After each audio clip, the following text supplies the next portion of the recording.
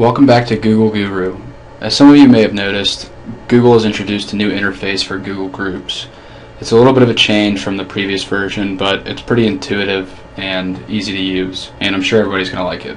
So to visit Groups, you go up here to the top of your screen and click on Groups, and this will direct you to the new Groups interface. From here you can see My Groups, which is a list of all the groups that I'm a member of. Browse All, which will contain all of the groups within my organization, and then New Group, where I can add a new group.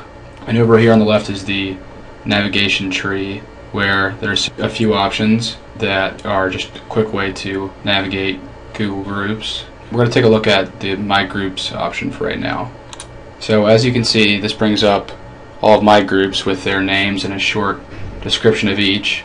I'm going to click on All Gurus for right now. So this is the group page where I can view the messages in between everyone in the group and I can also create a new topic for discussion and some other features just for managing this inbox here.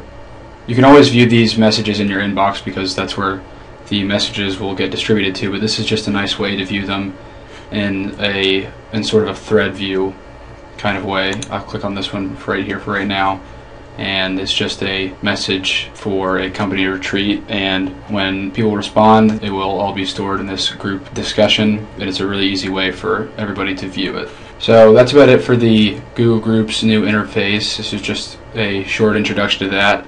I think if you play around with it for a little bit, you'll be able to notice some pretty intuitive features that may be an improvement over the previous version.